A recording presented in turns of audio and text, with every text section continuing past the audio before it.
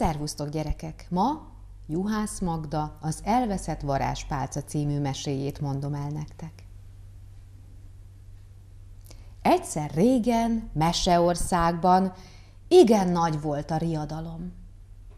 Nem akart elmúlni a tél. Már tavaszodni kéne, morgolódott fázósan a király. De nem csak a király, hanem országának népe is. Egymás után jöttek a különböző küldöttségek az uralkodó házba, azt kérték a felséges királytól, nézzen után annak, hogy miért nem akar elmúlni a tél. Bizony a király is tanácstalan volt. Valamit azért mégis mondania kellett, így hát megígérte, hogy azonnal intézkedik. Megígérni könnyű volt, de megtartani annál nehezebbnek ígérkezett. Egy tanácstalan király kuporgott a trónusán, mikor hirtelen az udvari bolondja toppant elé. Úgy látom, baj van, és ahol sok a baj, ott kevés a vaj, he-he-he. A király most nem tudott nevetni, inkább nagyot sóhajtott. Aztán elmesélte Zakinak, mert hogy így hívták az udvari bolondot, hogy mi nyomja a lelkét.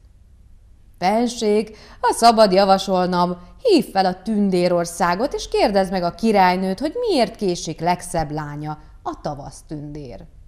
Ó, persze, kapott fejéhez a király. Hozd gyorsan a távrecsegőmet, legkedvesebb bolondom. Zaki futva hozta is a drága kövekkel kirakott távrecsegőt, és a fenség azonnal felhívta a tündér királynőt. Hamarosan kiderült, hogy a tavasztündér elveszítette a varázspálcáját. A királyné bosszúsan elmesélte, hogy tündére most is elindult a legmagasabb hegy tetejére tavasznyitót táncolni, de varázspálcájával alig suhintott néhányat, a zord télkirály kiütötte a kezéből, és úgy eldugta, hogy sehol sem találni. Még azt is kiabálta, hogy soha többé nem lesz tavasz, se nyár. Csak ő, a télkirály fog uralkodni egész évben.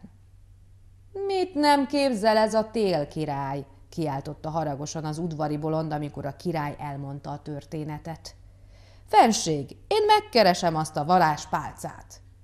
A király nagyon megörült, és megígérte, hogy ha sikerrel jár, azonnal kinevezi első udvari bolondjának. Zaki megvakarta a fejét. Fenség, hiszen most is az vagyok. Hm, de nem kérek én semmi jutalmat, elég lesz nékem a fenséges király szépséges lányának a keze. Erre aztán a király saját fenséges kezével akkora pofont adott bolondjának, hogy annak még a füle is belecsendült. A csattanásra berohantám a királylány, mert éppen a kulcsjukon leselkedve mindent hallott. Haragosan megdorgált a fenséges apját. Hogy mertett pofon vágni? Felajánlotta, hogy elmegy és megkeresi a varázspálcát. Lehet, hogy meg kell küzdenie a Zord télkirállyal, az is lehet, hogy megfagy az úton, és akkor nem lesz, aki bolonduljon értem. Most döbbent rá a király, hogy újabb baj fenyegeti a királyságot. Mégpedig a szerelem.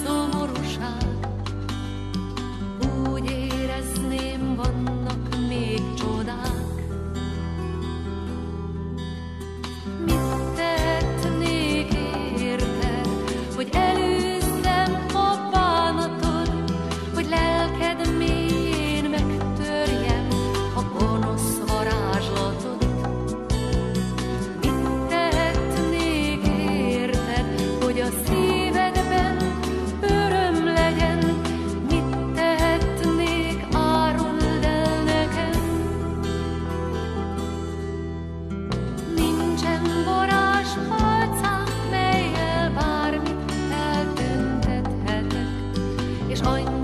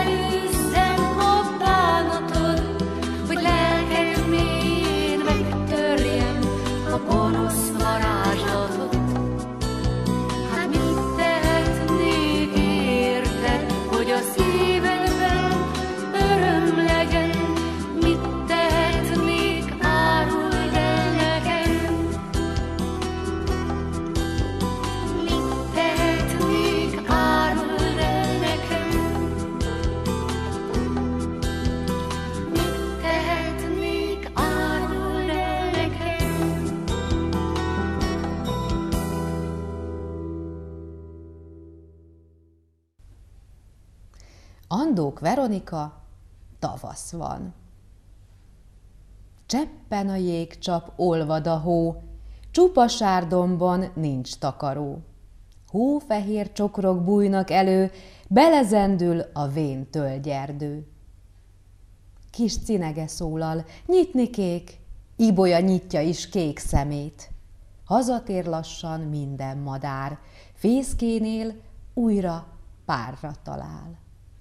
Kacag a gerle, nevet a nap, fák ezer virágot bontanak, tulipán kejhén méhike füvekkel fut a kis gyalogút.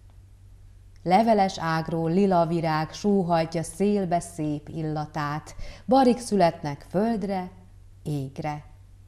Tavasz van, tavasz van, végre, végre.